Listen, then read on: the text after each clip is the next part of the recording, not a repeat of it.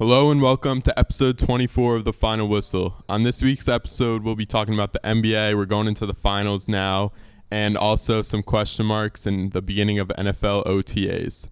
So, first up, the NBA. There was just a huge comeback from the Celtics. They were down 3 0 in the Eastern Conference Finals. They came back, tied it 3 3, and they get the home game in Boston and they fall to the Heat. It was never really a close game, and the Heat almost looked like they were toying with them by letting them get those three games.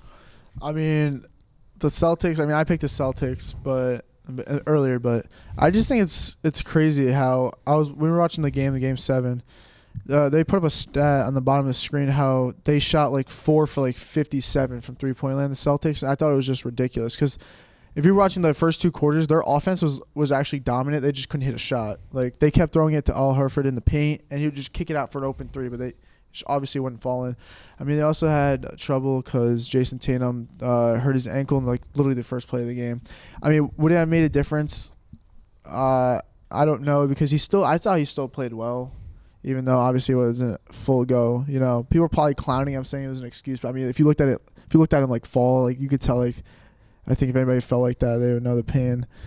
But I think the Heat, the Heat can just shoot. Like if if they were, if they were to switch teams and they like the Heat ran the Celtics playbook, like they probably would have blown out in the first quarter.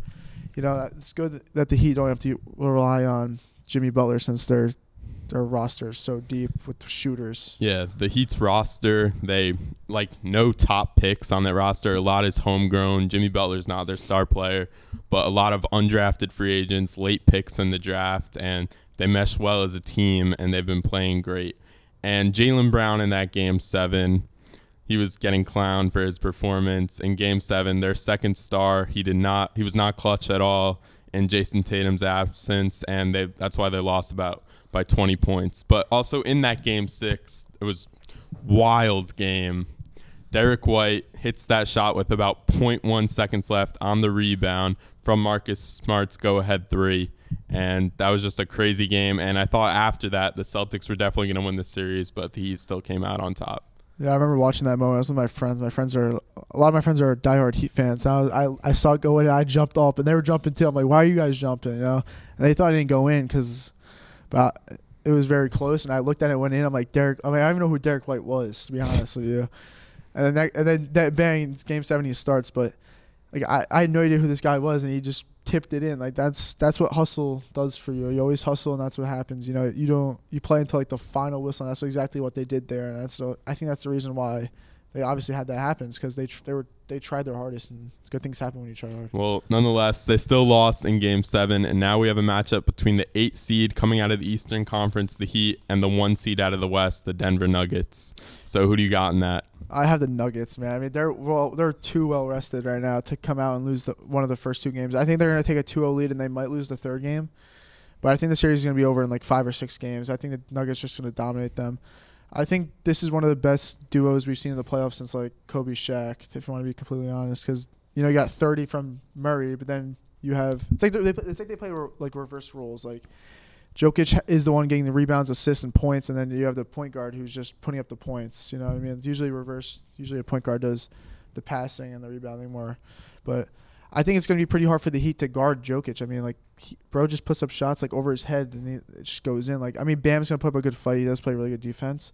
But I, uh, it's really hard. It's like really hard to guard him. But I could totally see the Heat making like a, a push because, you know, in my opinion, I think Caleb, Caleb Martin should have won the MVP. I don't think Jimmy Buckets deserved it. I mean, I didn't think he played that well, but like, I mean, Caleb was like, he was just automatic every game. Missed like five to six shots every game. And I mean, I don't know how you don't give that to the MVP, but I don't know. It's gonna be r- really tough for the Heat to come yeah, out and win. Jimmy Butler won the Larry Bird Trophy, the now what's now called the Eastern Conference MVP. He had 24.7 points, 7.6 rebounds, 6.1 assists, and 2.6 steals averaged in that series, and I've also got to pick the Nuggets in this series in the finals. And you said the Nuggets are well rested. I think that could help and hurt because the Heat, they've been playing games. They've been in the atmosphere of the playoffs. And I saw that the Nuggets' elevation, I don't know how big of a factor this will make 5,280 feet. And in Miami, it's about only six feet. So the oxygen could get it could get hard to breathe in there for the Heat, and the Nuggets have been used to it all season. Not much how, how much of an impact that'll have, but We'll see. we'll see if the Heat complain about it or what. So let's just see what happens now. And now we're going to take a short break, and John will join me to talk about the NFL OTAs. Welcome back. So now John has joined me, and Sports Illustrated put out an article, The Seven Biggest Questions and Storylines Coming Out of NFL OTAs, that just started. So the first question is the 49ers and their quarterback situation. They've got three guys competing for that job, and it's really complicated. So, who do you think can win it, and why is it so complicated? Yeah, so a very uh, tricky room they got in San Francisco. They got their third overall pick from two years ago, Trey Lance, who looked promising in college, and they were very high on him, but he came out and he got hurt versus Seattle in the week two of last year. And then they uh, put in Brock Purdy towards the end of the season this year and they brought them to the NFC Championship game. So that's already two quarterbacks. And then they signed Sam Darnold. Kyle Shanahan was sitting here saying in press conferences that Sam Darnold might have the best arm talent he's ever had as, with a quarterback. So that's three guys that you have in training camp now, all potentially with that that are fighting for that QB one spot. So the 49ers have a lot of uh, hard decisions to make because the 49ers aren't really a team to even keep three quarterbacks on the roster when it comes August and you have to make the cuts. So one of these guys are going to go and one of these guys is going to sit the bench. So it's going to be really interesting to see. Yeah, they could definitely make a deal, a trade for somebody, and we'll just have to see who's the odd one out. I think mm-hmm. that's obviously a big question also. Mm-hmm. And Brock Purdy, Mr. Irrelevant in the draft, and I don't think that really matters. We saw that with Tom Brady. I'm not saying he's Tom Brady, but he obviously had a great run in the playoffs. He made it to the conference championship, and he's a little bit banged up also, but I think his arm will be fine, ready for the season, and he'll be ready to go. And I think he should be the starting quarterback. And second question, what do the Browns really think of their offense? Another confusing team. They just got mm-hmm. Deshaun Watson back halfway through last year about, and it seemed like their team got worse with him. He didn't play football in a while, but what do you think about them this year?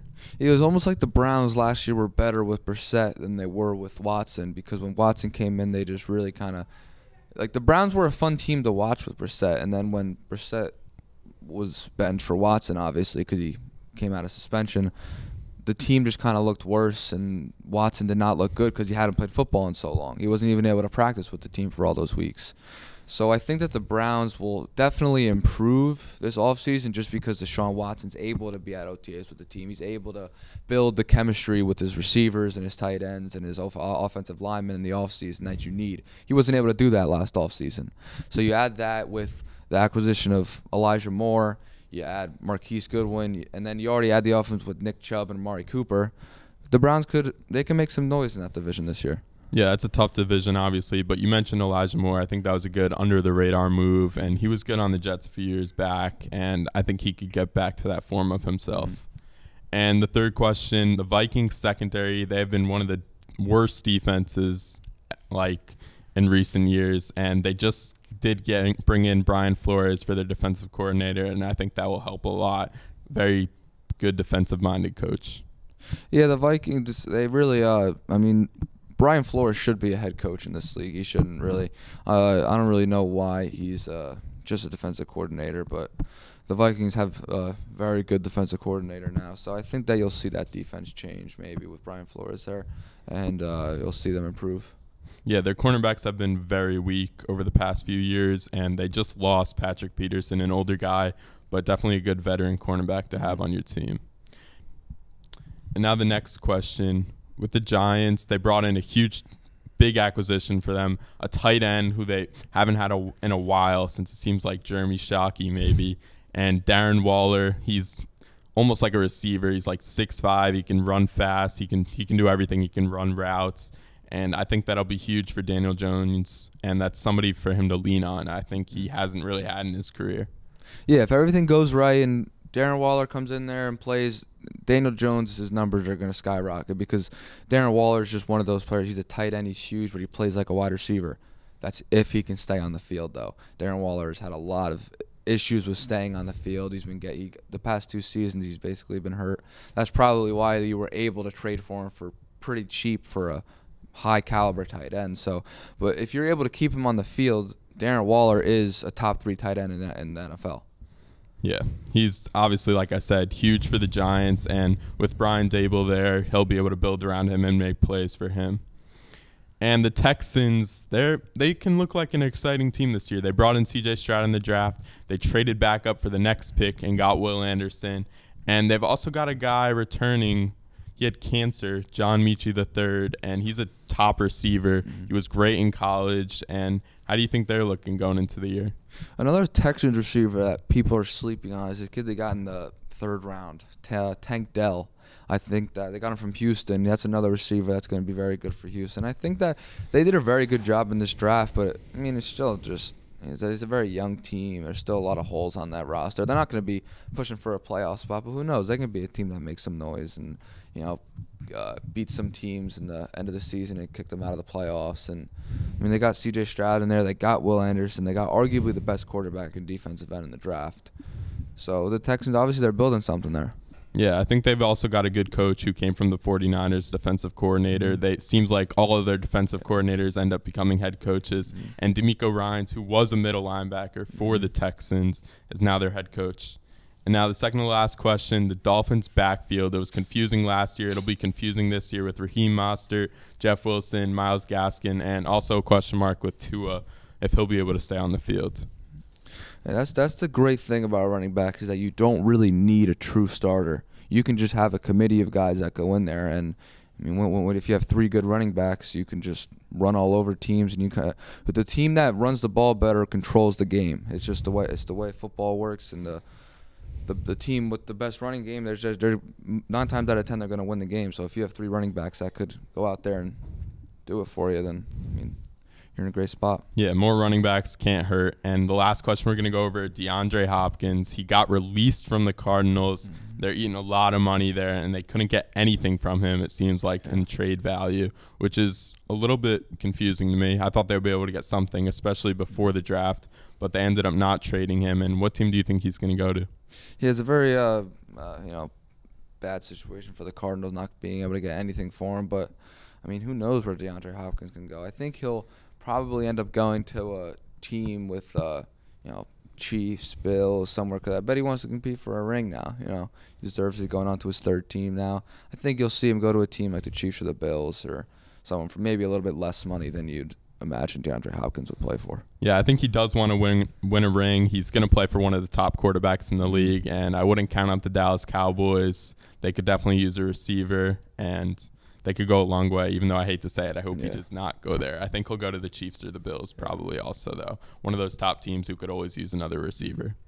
And that's going to do it for us on episode 24. We'll see you next week for episode 25.